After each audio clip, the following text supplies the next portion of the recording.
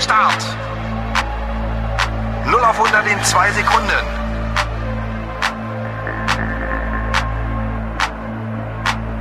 Los geht's!